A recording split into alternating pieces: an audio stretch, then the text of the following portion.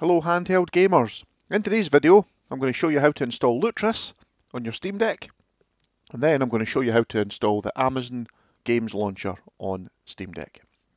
So first you need to click on the Steam button in gaming mode, go down to shutdown and then switch to desktop view and from there you want to click on the little menu icon at the bottom left, the Steam icon and go up to uh, Discoverer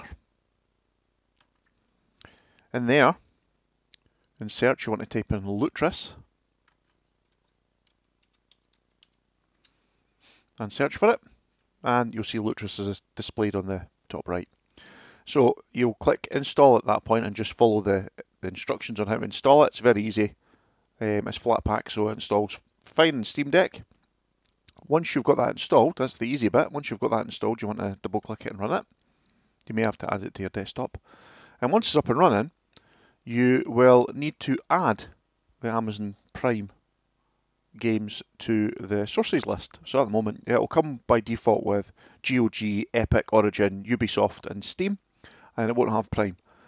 What I've seen most people doing, and this is what I did as well the first time, is that you click on the plus icon up here and search Lutris website for installers.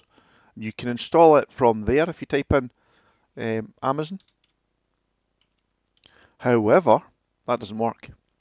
So what will happen is it'll happily install and it will load up and then what most people are finding, and this is exactly what I found as well, is it will disconnect after about 30 seconds to a minute, just you know cease to run the app any longer, just end tasks for no apparent reason.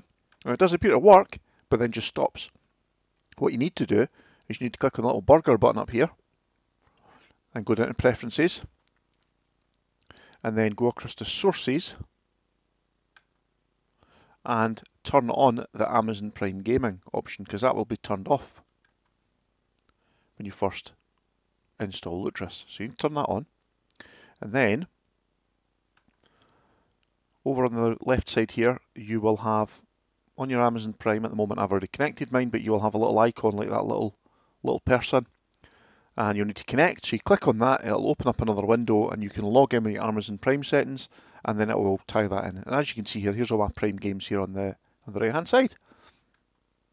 And so I can go through any of these games and I can install them. What I have found is it's quite slow. Let's just try that, see what happens. Just so you can see. So there you go, a pop-up window saying you want to install this game. So I'll click install.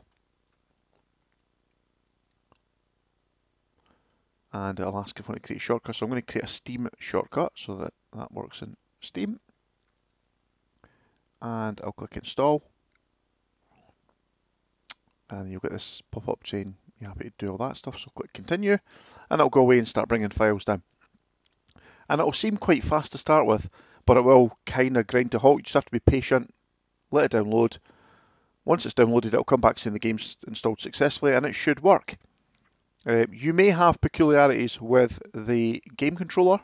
What I have read online is some people have had to go into the preferences again.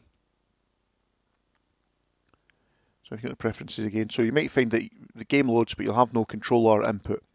So most of what I've seen online is uh, people have said, um, I think it's global options, go in there and disable the Lutris runtime. So by default, it's uh, ticked on. So that's enabled, I'm guessing. So you would need to disable it and your Steam controller should then work um, in controller mode.